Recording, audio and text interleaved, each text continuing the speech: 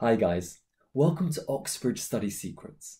In this video series, we're going to talk about the study tools, mind management techniques, and lifestyle hacks that top students from Cambridge, Oxford, and other world class universities and schools use to help them get the best possible grades with the least amount of stress. So you might be asking, who is this video series actually for?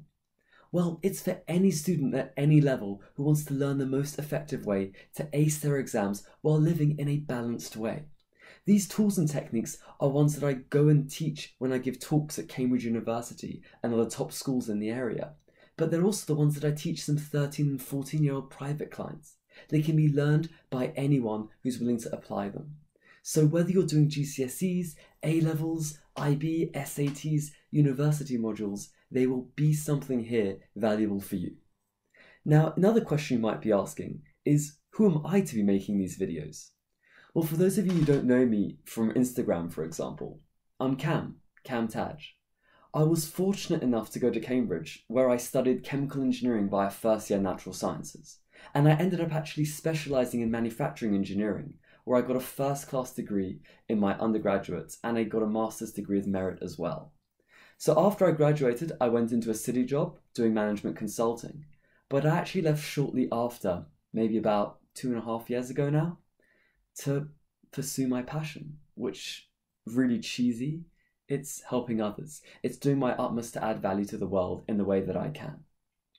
So now I'm a performance coach, I'm a speaker, and I'm the author of The Ultimate Guide to Exam Success this book that I'm so proud of, that some of the content here is hopefully going to inform this series, Oxbridge Study Secrets. So, at the moment, I work with high potential students and young professionals as well through one to one sessions, talks, and workshops where I work on improving their performance, achieving their goals, and improving their overall sense of well being and satisfaction with their lives. But let's get back to Oxford Study Secrets.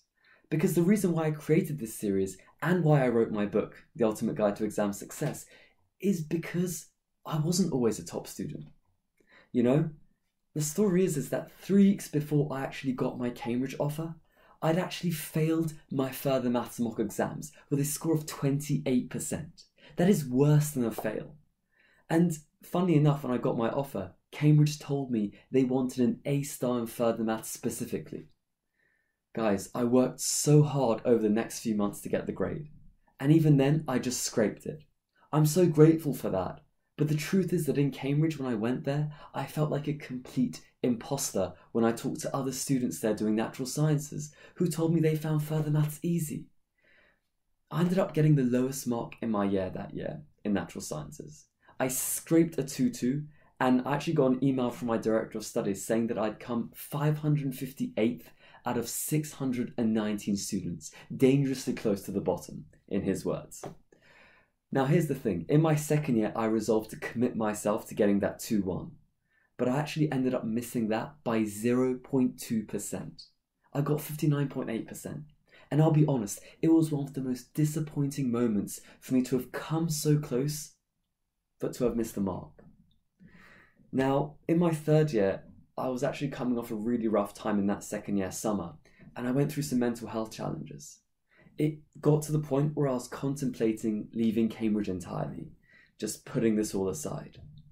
But when I came through that experience and I decided I was going to stick around, around January time, I made a commitment to myself that I'd rather fail on my own terms studying in my way, living a balanced lifestyle, doing things intelligently, not just rushing around trying to do what others are doing. And I ended up not just getting a 2 1 that year, I actually ended up getting that first class. And it's these tools that I used to turn my failures into success. This mindset that took me from wanting to drop out to not giving up. These are the ones that I want to share with you in this series. These are the ones that I hope I'll not only be able to contribute, but I'm also going to get other top students from Oxford to contribute to these videos too. So let's talk about what kind of stuff we'll actually be covering in these videos. So we're going to be looking at study tools, like how to make the perfect revision notes, what's the most effective way to learn, what are the most effective revision strategies for each subject, creating the perfect study environment, finding your perfect time to study.